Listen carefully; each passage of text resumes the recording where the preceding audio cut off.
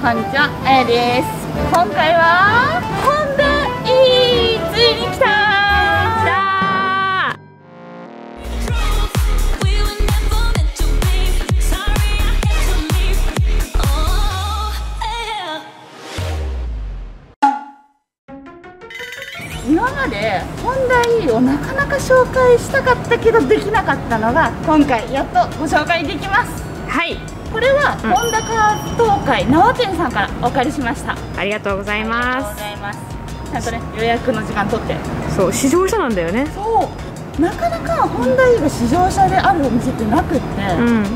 今回縄店さんにようやく来たので、ちょうんっとお借りしてね試乗とレビューの方取っていきたいと思います。はいまず内外装のレビューからいきます、うんまず外見なかなかなんか近くで見ると大きいおおそうか。私もっとねうん。コンパクトだと思ってたの、うん。もう軽に近いぐらいな。あそうなの？そしたら意外と大きかった。うーん。なんか確かにそのグリル部分はすごくでっかくてあのマリオのイカちゃんみたいな。わかる？わかる。めちゃくちゃ可愛い。でもはい。このグリルの中にレーダーとかうん。集約しとるらしい。カメラとか。すごいよね。でもその辺が分かりづらい、ここがうん。その充電するところですね。真ん中なんだ前で、はい。これへを開けるのがうん。鍵で、ここのボタンを押すとあ開いた。おおホンダって書いてある。でうん。サイドはい。ちょっとここが出てるんだよね。ストーンじゃない。あ本当だ。フェンダーちょっと出てますね。ホイールは？ホイールが本当にちょっと可愛いなって思うけどね。でサイズがうん。185の60の60の1616 16 16インチね。インチです。燃費やっぱいいのかな？ちっちゃい方がね。そうなのかな？ではい、サイドを見ると、うん。ここ。はい。サイドミラードアミラーじゃないんですよ。サイド。カメラ？カメラ？になっておりま普通ドアミラーって車幅より出るやん。すそうだね。けどこのカメラにしたことで車幅を変えずにつけれとるらしいあ確かにさこのフェンダー部分が出てるからそうそうそう。一緒なんだっ一て。だからドアミラーだけぶつけるとかその気使わんでいいみたいな。確かに。で後ろのリアのタイヤもうん。通しであ違う違う？じゃあ本当だ。205の551616インチは一緒だけどタイヤサイズが違うね。そんな風にはあんまり見え見えなないけど。一応通しではなかったですね。あとそうだ。あ。ここ？あそうだね。リうん。アの開けるこうドアノブがこっちここが電気自動車っぽさなのか全部こうフラットになる感じ。そうやな。ほんまや。あフロントも出てないしドアノブ。でリア。はい。リアがうん。またほぼフロントと同じような顔。うん、全く一緒じゃない。なサイズとかもすごく似たように思う。似たような、あとこれ。はい。これば普通のホンダのエンブレムのフォントと違うね。そう。やっぱこうやっぱクラシックな感じだったりするように、このフォントも変えてるのかなっていう。じゃあ次はじゃあライト類うん。見ていきたいと思います。はい。多分今デイライトだかな。これね？これがポジションかなじゃあ。うん。これあえー、かわいい。はい B あーわかるかな？これどうね。そのまんまね。はい。これおー。変わってる切り替わってる。あフォグついてた今。ね。うんこれだ。これだね。ウィンカリンカーです。ーおなんか区切れとるのがまた可愛いな。じゃあ次はリア。はい。はいリア。ブレーキ踏みます。はい。あええー、むちゃくちゃ可愛いが。はい。はいはーい。あなんかプシュって言いながら つきましたけど。あこれがバックランプね。はい。あブレーキと別なんか。あこれだとねあのフロントのあの赤と白が違うだけみたいな。すごい。うなるほどね。ん、うん、リアも同じようなデザインになってます。えー、めちゃくちゃ可愛い。いいねシンプルだけどやっぱ最近の車だから光り方は新しいというか、綺麗だしね、うんはっきりしてる。でいじゃあ勝手に鍵閉まった。あ今閉まったのか。鍵を持った状態でうん。近づきます。はい。お。出てきた。しここも光る。光る。はいでドアはこんな感じね。はい、2層のツイードっぽい。うん、タイプで。ここがねまたね可愛い。おしゃれだね。おしゃれです。はい。余分なものがないって感じだね、わかりやすい。シンプルですね、はい。で中はこんな感じ。おお中はこれまたシンプルだけど最新だな。そうだね。うん。このさうん。ステアリングホイールとか特になんかあれじゃない？ピット？ああみたいじゃない？そうだね、うんここのねこれ今真逆向いてるけど。そうそうそう。こここのがないもんね。そうスポークがない。うん、ちょっと乗ってみてください。はい。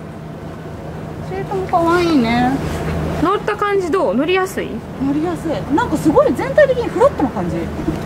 そうだよね。なんかうん。見た感じでもうん。超フラットやん。でここも木目になってて。うん。木目調だね。はい。こういうところもねこのあエンジンっていうかこのパワーかをつければ色がライトが光って見えるようになるって感じだね。ちょっとつけてみてくれる？はい。おおこれ今はうん。開けてからだいぶ時間経っちゃったからうん。パワー入れたけど実はこれね入る。でうん。ドアを閉める。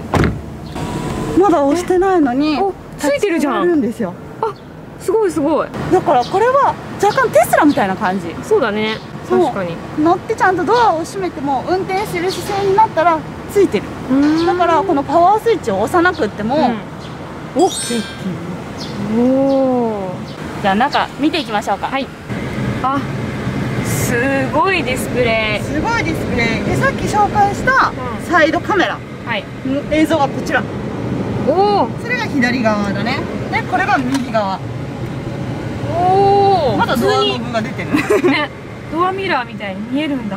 でまず驚くのがこのディスプレイですよ。ねえもう全部さこっからもそうだけどもうずっとディスプレイだもんね。しかも何これおしゃれ。めっちゃ日本おしゃれ。庭園みたいな。何これ？なあ。しかもこれ変えれるんだって。壁紙みたいなこと？そうそうそう。マジ？ちょっとねこの本体設定をピッと押しまして。で画面押しまして。はい壁紙ってあるんですよ。おこうしたらねあらあってこれ追加もできるんだって。でこれ竹林にしたらな戻戻るやん。京都にいますわね。そう。嵐山ですあよわやばいわ。これ。しかも画質もなかなか綺麗ですよ、こ綺れ麗。鮮やかだしね。うん。ここが普通のねメーターが出る画面になります。はいうん。ここ。まあうん全然分かりやすい。ここにあるからやっぱり目の前に出るけん。そうだね。目線はずらさなくて済むけどこのつながりがあるっていうのがまたいいなっていう感じだね。ね。上あ？行くよ？うん。めっおちゃいい天気だね。お おーでもこれはあれだね、もう動かない。チルトにもならない、うん。はめ殺しタイプの窓になるけど、うん。開放感が違う。全然違う。やっぱお室内の色も明るいからうんうんうん。余計こう広く感じるね。ーね。ちょっとリアシートの方も見ていきましょう、はい。ヤッホヤッホー。はい後ろ。なんか、すごいフラットだね。ー 分割式じゃない。今時ないっしょこんな。なかなかないし超ベンチシートだよ。ね。しかもあやさんのマスクと同じ色えー、シートベルト茶色なん気づかんかった。かわいいね。すごい。あステッチベルト合わせとうのか。なるほど。もう4人だと全然余裕持って座れそう。ね。座ってみて。あそっちもフラットなんだね。リアもだ。うん。電気自動車ならではか。ないから。ねうん。ここもちゃんと充電が2つ。あありますね座り心地はどうなん？そんな。座り心地はちょっと柔らかめ結構スポンジが柔らかいかなって。クッション性がだいぶ。えなんかえマジじゃ ん？なんかほんまに昔っぽいそういうとこも。なんかね、ん。このスポンジ黄色のあのスポンジって感そうじそうそうそうじゃあ次気になるラゲッジスペース。はい。見ていきます。はい。じゃあ開けていきまはーい。すこのへこんでるのがまた可愛いね。ね。広さ的にはうん。ちょっとこのね、上があるからうん。結構狭め？そうだね。戸のカバーが。でも一緒に上に上がるタイプなんやな。そう。これはいいね。このサイズだったらまあまあなラケッジスペースかな。じゃあちょっとこの上を取って、3以上。あおおいきますよ、一個だけだよ真ん中の、うん。全部つながってるからトさだすが。じゃあちょっと大きさが分かるようにはい。見させていただきます。はい。おおそこそこの広さ、うんそうだね。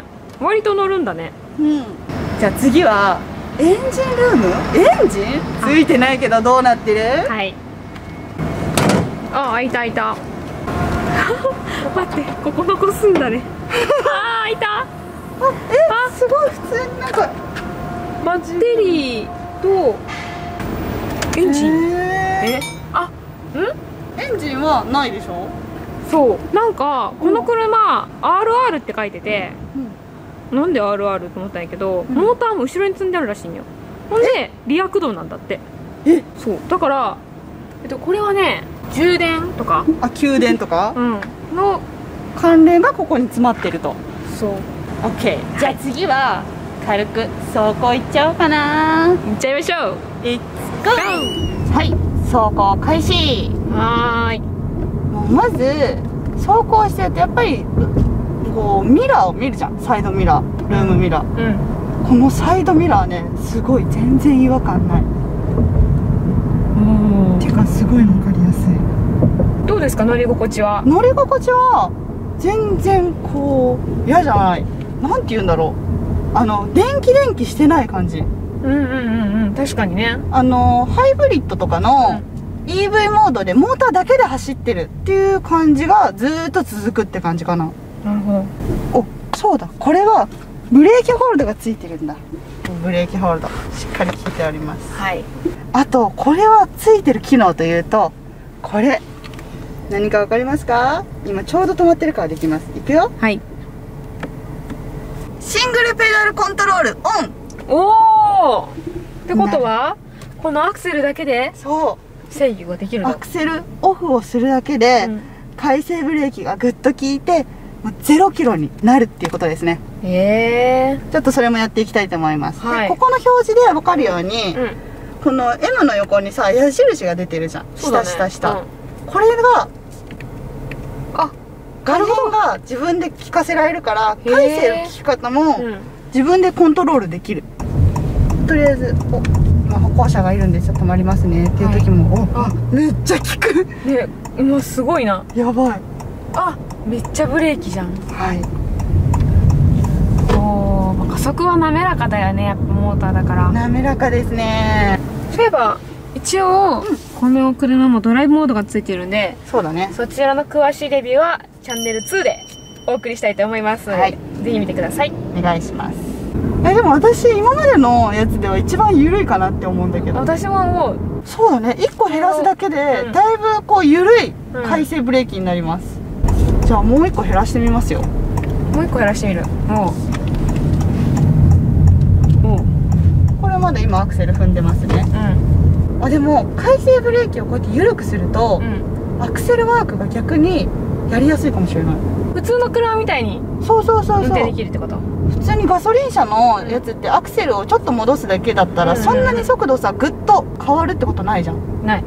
でもそんな感じでアクセルワークができる、はい。この辺はここで調整するのはありかもしれないね。そういうことね。うん。いやこれねシートの感じとかもこれは全然このスポーツな感じじゃないから、うんこの車が。うん。立ち上がりは少ないんだけど、うん。でも座面部分大きくってすごく乗りやすくて疲れづらいかなと思います、でこの前の視界の感じ。はい。すごく最初はねこの鍋画面だったり、うん。いろいろあって見づらいかな、狭いかなって思ってたんだけど、うん。そんなことは全然なかった。ねちょうど目線のところは全部開いてるしてっかり開いてるから、うん。このピラーも意外と視線に入ってくるかなって思ってたんだけど、うん。全然邪魔にならないぐらい。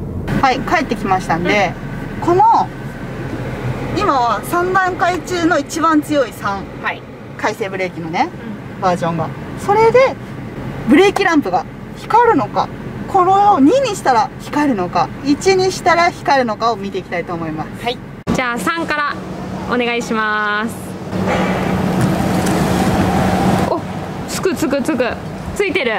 じゃあ次はこはい。れを減らして2、2にしますね。はいはーい。さあどうなるのか。はいどうぞ。お。光ってる？光ってます。おおじゃあ次は1 1はーいお願いします。